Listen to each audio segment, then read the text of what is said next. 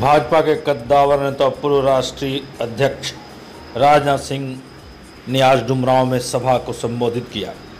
बक्सर लोकसभा क्षेत्र के दिनारा और डुमरांव में उनकी सभाएँ प्रस्तावित थीं। डुमरांव पहुँचे राजनाथ सिंह ने किसानों के लिए कई घोषणाएँ की। उन्होंने बताया, अब किसान क्रेडिट धारक किसान को पाँच वर्ष के लिए एक करोड़ रुपए तक का ऋण मिल सकेगा। उन्हें ज़ीरो प्रतिशत ब्याज पर यह सुविधा मुहैया कराई जाएगी। जिन किसानों के लिए किसान सम्मान निधि योजना शुरू की गई है, वह उनकी ज़मीन पाँच एकड़ हो या पाँच एकड़ से अधिक। अब सभी को छः हज़ार रुपये मिलेंगे। यह योजना सिर्फ़ इस वर्ष के लिए नहीं, अगले वर्ष के लिए भी है। राजनाथ सिंह ने कहा कि हमारी सरकार का यह लक्ष्य है 2022 तक हर गरीब को छत मुहैया हो और उनके घर में खाना बनाने के लिए रसोई गैस उपलब्ध हो। हम विकास के रास्ते पर हैं। अगर आपने हमें सहयोग किया तो आने वाले समय में भारत विश्व गुरु बनेगा। विश्व की पाँच महाशक्तियों में भारत भी एक महाशक्ति के रूप में उभरेगा। सुनिए राजनाथ सिंह की बातें। देश बनाने के लिए आप लोगों से वोट मांगने आया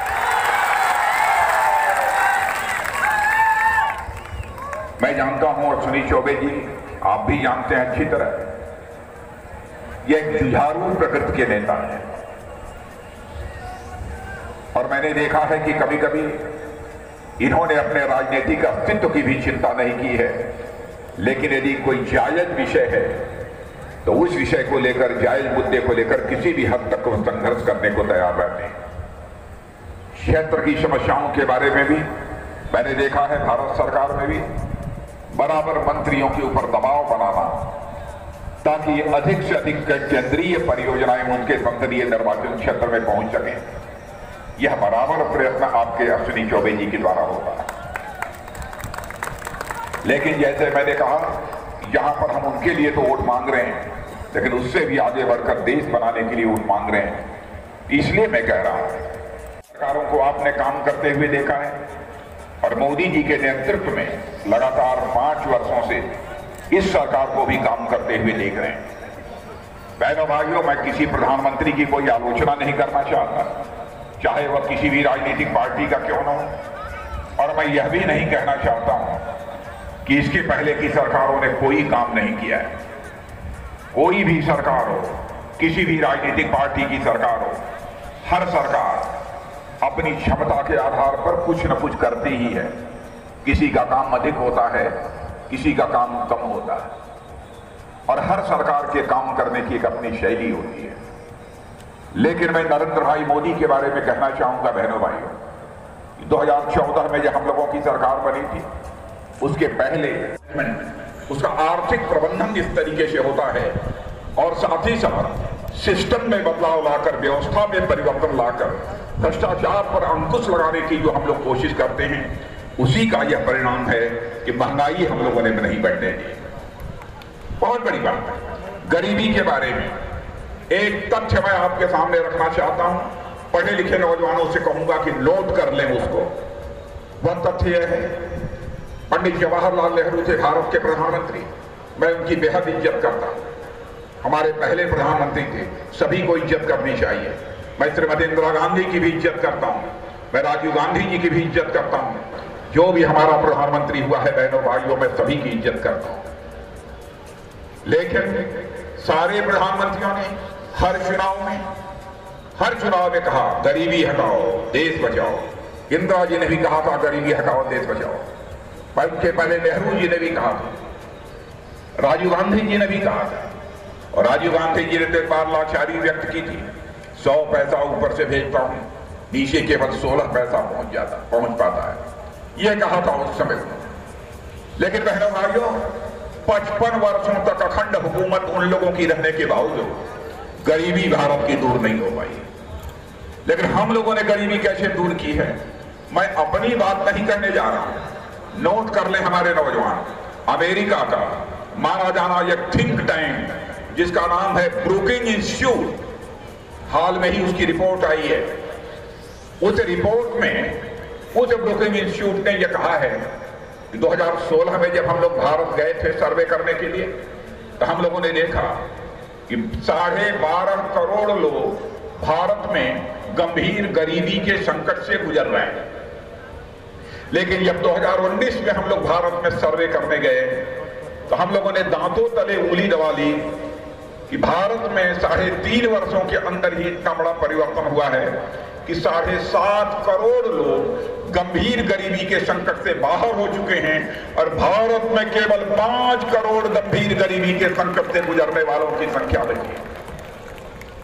बहना, भाइयों, यकीन दिलाना चाहता हूँ, यदि ऐसे ही सरकार चलती रही, पाँच से लेकर आठ वर्षों के अंदर भारत के अंदर हम ऐसे हालात पैदा करेंगे कि गरीबी रेखा के जी, नीचे जीवन निर्वाह करने वाला एक भी परिवार शेष न बचे ऐसे हालात हम देश में पैदा करेंगे पाकिस्तान को तोड़ने का श्रेय तोड़ा तो सेना के जवानों नहीं था। यदि श्रीमती इंदिरा गांधी को मिल सकता है। इंदिरा जी की सारे देश में जय जयकार हो सकती है। तो इस बार पाकिस्तान को धूल चटाने के कारण हमारे मोदी की जय जयकार क्यों नहीं हो सकती है? मैं इस सवाल का जवाब चाहता बहन भाइयों इस सवाल का कोई जवाब नहीं। कोई जवाब नहीं। और यकीन रखना यकीन रखना बहन भाइयों देश भी सुरक्षित है, सीमाएँ भी सुरक्षित हैं। नक्सलवाद के खिलाफ भी हम लोगों ने प्रभावी कार्रवाई की है। देखा होगा पहले का नक्सलवाद आज। नक्सलवाद दम तोड़ रहा है। तीन चार वर्षों के अंदर हिंदुस्तान की धरती से नक्सलवाद को समाप्त करके ही दम लेंगे बहनों भाई। ईस्ट का उग्रवाद समाप्ति की ओर है। ऐसे देश नहीं चलता, सीमाओं के बारे में भी मैंने साफ़ साफ़ दो टूक शब्दों में आदेश दिया है। एक बार 2014 के सितंबर में ऐसे ही मैं रात को दिन भर काम करने के बाद साढ़े दस बजे टेलीविज़न देख रहा तब तक खबर आई, पाकिस्तान ने गोली चलाकर हमारे सीमा सुरक्षा बल बहादुर सिक्योरिटी फोर्स के पाँच जवानों को मार डाला। मैंने तुरंत टेलीफोन मिला के बहादुर सिक्योरिटी फोर्स के डायरेक्टर जनरल को पूछा यह मैं क्या देख रहा हूँ टेलीविज़न पर? उन्होंने कहा कि, सर, घटना बहुत दुखद है, हो गई है, सच है। तो मैंने पूछा कि हमारी फोर्स ने क्या कार्रवाई की? उन्होंने कहा, साहब, हम लोगों ने पाकिस्तान को सोलह बार सफ़ेद झंडे दिखाए व्हाइट फ्लैग और यह आदेश पहले से हम लोगों को मिला हुआ है। तुरंत पाकिस्तान पर गोली मत चलाओ। तो मैंने कहा कि यह क्या होता है सफ़ेद झंडा? तो उन्होंने कहा, साहब, सफ़ेद झंडे दिखाने का मतलब यह होता है, अरे पाकिस्तान, हम तुम पर गोली नहीं चलाना चाहते। तुम्हारे साथ मिल बैठकर बात करना चाहते हैं फ्लैग मीटिंग करना चाहते हैं मामले को सुलझाना चाहते। हैं मैंने कहा कि झंडा सोलह बार दिखाए जाने के बाद पाकिस्तान ने क्या जवाब दिया? उन्होंने कहा कि साहब, अभी तक तो कोई जवाब नहीं मिला। मैंने कहा, आगे क्या सोचा? उन्होंने कहा, साहब, मैंने सोचा है कि एक बार सत्रहवीं बार और पाकिस्तान को सफ़ेद झंडा दिखाएँगे। और यदि पाकिस्तान ने कोई जवाब नहीं दिया तो उसके बाद हम सीधी कार्रवाई पाकिस्तान के खिलाफ करेंगे। बहनों, भाइयों, मेरा भी मिजाज थोड़ा सा इधर उधर हो। गया और मैंने टेलीफोन पर ही डायरेक्टर जनरल को आदेश दिया कि मेरा आदेश है स्टैंडिंग ऑर्डर है, एक तो सत्रहवीं बार पाकिस्तान को झंडा नहीं दिखाया जाएगा और आगे तक के लिए आदेश है। आगे तक के लिए आदेश है। पहली गोली तो भारत की तरफ़ से नहीं चलनी चाहिए, लेकिन उधर से एक भी गोली चलती है तो फिर भारत की गोलियों को गिना नहीं जाना चाहिए बहनों भाइयों। सीमा पर हालात बदल गए पक्का मकान नहीं मिला है। जिनके पास अभी पक्का मकान नहीं मिला है। बहनों भाइयों, हम लोगों का संकल्प है कि 2022 तक ऐसे सारे परिवारों को अपना सिर ढकने के लिए पक्का मकान देंगे और उसके घर में खाना पकाने के लिए गैस का सिलेंडर, गैस कनेक्शन भी मुहैया कराएँगे। यह हम लोगों ने अपने घोषणा पत्र में भी बात कही है और बार बार इसी संकल्प को हमारे प्रधानमंत्री जी ने भी दोहराया है। लेकिन कभी कभी मुझे आश्चर्य होता है हमारे प्रतिपक्ष के नेताओं को हो क्या जाता है? कर रहे हैं। कहते हैं, चौकीदार चोर है। कोई कहता है, चौकीदार अहंकारी है। कोई दुर्योधन कहता है। कोई आतंकवादी कहता है। बहना भाइयों, प्रधानमंत्री प्रधानमंत्री होता है, राष्ट्रपति राष्ट्रपति होता है। ये व्यक्ति नहीं होते, संस्था होते हैं। लोकतंत्र में यदि संस्थाओं की प्रतिष्ठा, संस्थाओं की गरिमा आदि गिरने लगती है तो लोकतंत्र कमज़ोर होता है। लोकतंत्र यदि कमज़ोर होता है तो देश को भी कमज़ोर होने से दुनिया की कोई ताकत नहीं बचा सकती। और ये लोग देश के साथ तमाशा कर रहे हैं। मैंने आज तक ज़िंदगी में भले ही कांग्रेस का कोई प्रधानमंत्री रहा हूँ, कभी भी अपशब्दों का प्रयोग नहीं किया, कभी किसी को गाली नहीं दी। ये लोग गाली दे रहे हैं। मैं आपसे अपील करने आया हूँ, मेरे बहनों भाइयों लोकतंत्र में यदि बदला लिया जा सकता है तो वोट के माध्यम से लिया जा सकता है। इसलिए मैं आपसे कहना चाहता हूँ कि अश्विनी चौबे को भारी मतों से विजय दिलाकर आप भारत की संसद में भेजें क्या हो गया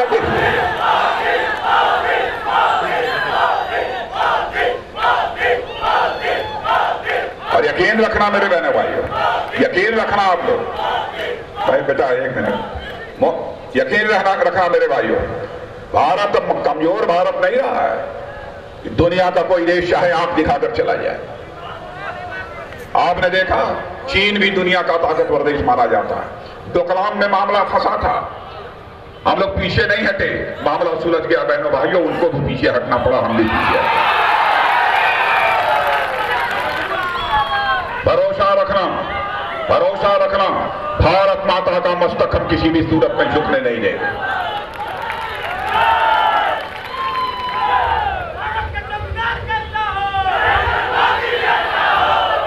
और इतना ही नहीं हाल में सीआरपीएफ के जवानों पर फिराइन हमला करके बयालीस हमारे बहादुर जवानों को मार डाला।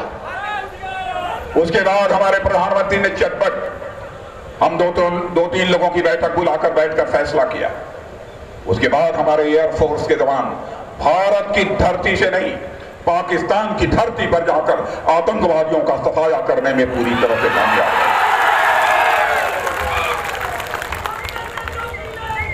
यही धारणा थी भारत, यह कमज़ोर भारत है, गरीबों का भारत है, कंगालों का भारत है, एक धारणा ऐसी बनी हुई थी। लेकिन आपने भी पढ़ा होगा, सुना होगा 2014 के बाद यह धारणा, बहनों भाइयों, सारी दुनिया में बदल गई है। अंतर्राष्ट्रीय जगत में भारत की प्रतिष्ठा बढ़ी है। भारत को अब सम्मान के नज़रिए से सारी दुनिया देखती है। सारी दुनिया में भारत का डंका इस समय बज रहा है, बहनों भाइयों। इसीलिए मैं आपसे देश बनाने के लिए वोट मांगने आया हूँ। आप लोगों ने नाम सुना होगा। नाम सुना होगा अंतर्राष्ट्रीय मुद्रा कोष। अंतर्राष्ट्रीय मुद्रा कोष, ये एक ऐसी संस्था है कि दुनिया के सारे देश इसी अंतर्राष्ट्रीय मुद्रा कोष से अपने देश के लिए कर्ज प्राप्त करते हैं। और इतना ही नहीं, यह अंतर्राष्ट्रीय मुद्रा कोष नामक यह संस्था दुनिया के सभी देशों की आर्थिक व्यवस्था, वहाँ के माली हालत का समय समय पर जायजा लेती रहती है। आपको जानकर बेहद खुशी होगी, उसी अंतर्राष्ट्रीय मुद्रा कोष ने अपनी रिपोर्ट में कहा है, बहनों भाइयों, कि इस समय सारी दुनिया में सर्वाधिक तेज़ी से आगे बढ़ने वाली अर्थव्यवस्था यदि किसी देश की है तो हमारे और आपके देश भारत की है, बहनों भाइयों, यह अंतर्राष्ट्रीय मुद्रा कोष ने कहा है। यह हमारा यह हमारा स्टेटमेंट नहीं है अंतर्राष्ट्रीय मुद्रा कोष ने कहा है। तथ्यों के आधार पर कहा। यह किसान क्रेडिट कार्ड अगर आप लोगों के पास है कि नहीं? कितने लोग पास हाथ उठा दीजिए। दूँगा समय अभाव के कारण। प्रधानमंत्री आवास योजना, यह हम लोगों ने प्रारंभ नहीं की थी। प्रधानमंत्री आवास योजना भी कांग्रेस ने प्रारंभ की थी। लेकिन उसी कांग्रेस सरकार के शासनकाल में 2008 से लेकर 2014 तक, छह वर्षों में कांग्रेस की सरकार ने 25 लाख आवास बनाकर लोगों को आवंटित किए थे। लेकिन आपको यह जानकर सुखद आश्चर्य होगा कि हमारी सरकार ने उसी प्रधानमंत्री आवास योजना के अंतर्गत 2014 से लेकर 2018 समाप्त होते होते साढ़े चार वर्षों में एक करोड़ तीस लाख मकान बनाकर जनता के हवाले कर दिया है। यह हमारे काम करने का तरीका है। ये हमारे काम करने की शैली है। कांग्रेस के नेता ने नौजवान नेता है, राष्ट्रीय पार्टी के अध्यक्ष हैं कांग्रेस के। वो भी बराबर मांग चाहे रहते हैं। उन्होंने कह दिया अरे नौजवानों, चिंता मत करो, मैं आऊँगा तो राष्ट्रद्रोह का कानून समाप्त करो। बहनों, भाइयों, मैं आपसे पूछना चाहता हूँ, यदि कोई भारत को तोड़ने की कोशिश करता है, भारत को कमज़ोर करने की कोशिश करता है, क्या ऐसे राष्ट्रद्रोही को माफ़ किया जाना चाहिए? लेकिन वह कहते हैं कि मैं आऊँगा तो कानून को समाप्त कर दूँगा। बहनों, भाइयों, उसी के बाद मैंने स्टेटमेंट जारी करके कहा था, यदि हमारी सरकार बनेगी, अब तो हम ये देखेंगे, जो राष्ट्रद्रोह का कानून है, उसमें यदि कहीं पर कोई कमज़ोरी है तो उस कमज़ोरी को दूर करके इतना सख्त कानून बनाएँगे, इतना सख्त कानून बनाएँगे कि राष्ट्रद्रोह करने वाले को कानून की याद आते ही उसका कलेजा काप जाए, बहनों, भाइयों। ऐसा हम कानून बनाएँगे।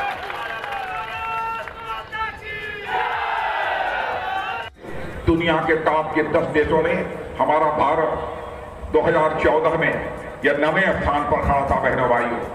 लेकिन चार, साढ़े चार वर्षों के अंदर यह हमारी सरकार ने ऐसा काम किया है। कि अंतर्राष्ट्रीय मुद्रा कोष यह कहता है कि भारत जो 2014 में दुनिया के टॉप दस देशों में नवे स्थान पर खड़ा था, वह जंप लेकर आज छठे स्थान पर पहुँच गया है। और उसी अंतर्राष्ट्रीय मुद्रा कोष ने यह भी संभावना व्यक्त की है कि इस सच्चाई को भी नकारा नहीं जा सकता है कि कुछ ही महीनों के बाद हमारा यह भारत छठे स्थान से जंप लेकर, सालों के बाद नहीं, कुछ ही महीनों के बाद जंप लेकर छठे स्थान से वह पाँचवें स्थान पर पहुँच जाए। मैं सारे नौजवानों को भी कहना चाहता हूँ, पढ़े लिखे लोगों को भी मैं कहना चाहता हूँ, आज आप मेरी बात को यह नोट कर लेना। 2030 2031 आते आते मेरे बहनों भाइयों, ऐसे ही आप लोगों ने हमारी सरकार को चलने का अवसर दिया।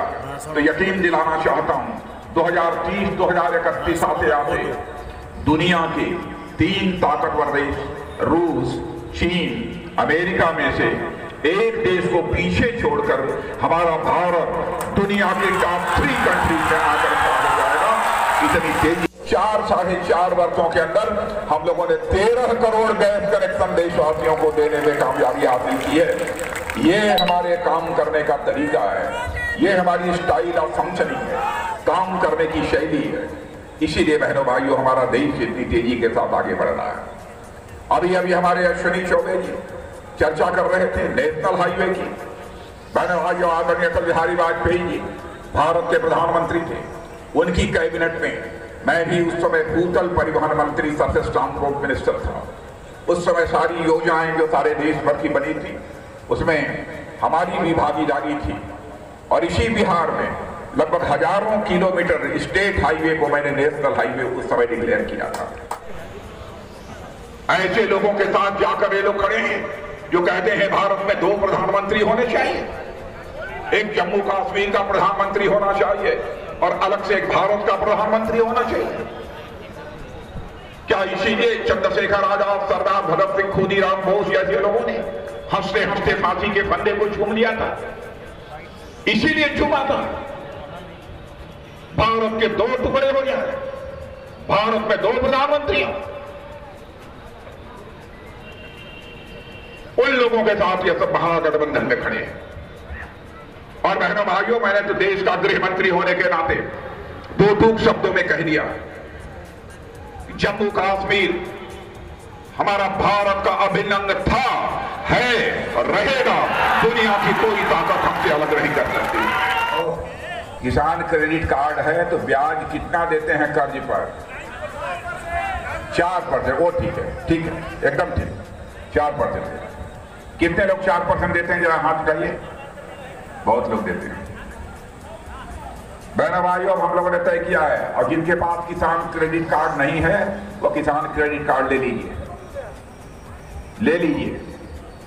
मैं अटल बिहारी वाजपेयी जी के शासनकाल में कृषि मंत्री था एग्रीकल्चर मिनिस्टर उनकी कैबिनेट में। उसी समय किसान क्रेडिट कार्ड जारी हुआ।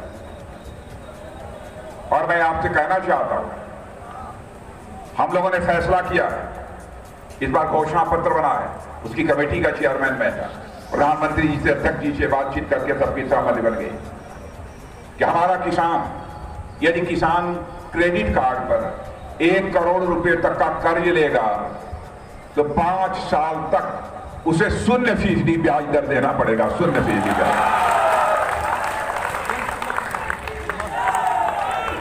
ये चलेगा? चलेगा कि दौड़ेगा? छह हज़ार रुपया मैं जानता हूँ जो हर किसान के खाते में पहुँचना है, अभी नहीं पहुँचा होगा। कुछ लोगों को पहुँचा होगा, सबका नहीं पहुँचा। होगा कुछ हाँ मान लिया कुछ लोगों का पहुँचा है, सबका नहीं पहुँचा होगा। लेकिन सुन लेना, सरकार बनने के बाद, क्योंकि कार्रवाई चल रही है, जिनका मिला है, उनको तो आगे का छह हज़ार मिलेगा, जिनका नहीं मिला है, इस बार का भी मिलेगा और अगली बार का भी मिलेगा। भी मैं बता दूँ, चाहे आपके पास पाँच एकड़ से कम ज़मीन हो, चाहे पाँच एकड़ से अधिक ज़मीन हो, सभी के खाते में छह हज़ार रुपया डाल दिया जाएगा, ये हम लोगों ने फैसला किया। और साथ ही आपके लिए पेंशन की, पेंशन आपसे हर महीने कुछ ना कुछ लेंगे। साठ साल की उम्र हो जाने के बाद तीन हज़ार रुपए छोटे लघु लघु सीमांत किसानों को और छोटे इसके जवानों ने मारा। हमारे एयरफोर्स के जवानों के शौर्य और पराक्रम पर यह सवालिया निशान लगा रहे हैं। मैं आपसे पूछना चाहता हूँ, बहनों भाइयों, क्या हमारे एयरफोर्स के जवानों को आतंकवादियों को मारने के बाद खड़े होकर वहाँ पर गिनना चाहिए था? One two three four five बहादुर, जो बहादुर होता है, बहादुर लाशें नहीं गिना करते, बहनों भाइयों। लाश गिनने का काम तो गिद्ध किया करते हैं, गिद्ध किया करते हैं। लाशें बहादुर नहीं गिना करते।